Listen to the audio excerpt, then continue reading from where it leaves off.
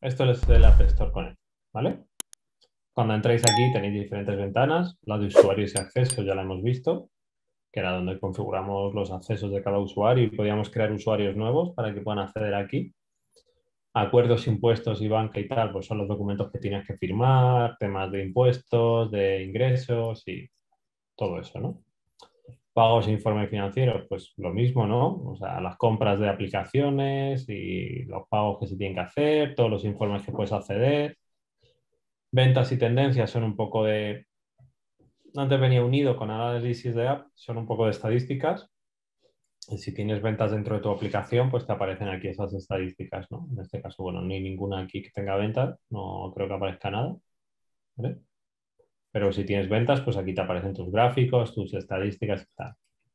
Y en análisis de app, pues más lo mismo. Si tienes aplicaciones publicadas, aquí puedes ver análisis de uso, de, y tal. No es nada demasiado potente. Sí es verdad que lo han mejorado bastante, pero no, no es nada demasiado potente, ¿vale? Y la parte de mis apps es donde publicamos las aplicaciones.